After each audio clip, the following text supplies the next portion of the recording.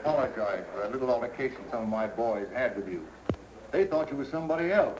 But they found out their mistake, and they're sure sorry. I'd like to have you meet them.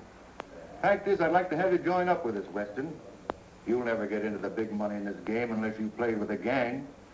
I guess you know what I mean. Well, it sounds good to me. I've always heard you had to be on the inside to be anything. What's your proposition? Just this. Right now, you're a one to two favorite. That means you're going to win on a thousand dollar bet, five hundred dollars.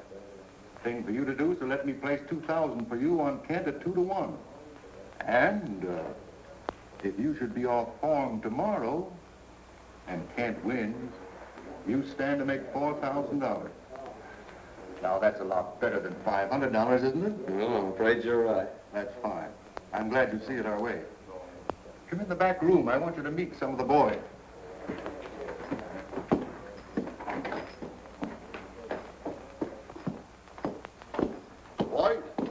Weston here's going to join up with us.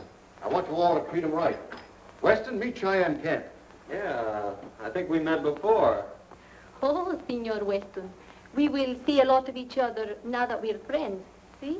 I'm kind of green at this uh, racket. I, I suppose there's a lot of things about the rodeo business you could tell me. Oh, boys, see you later. So long, Barton. So long.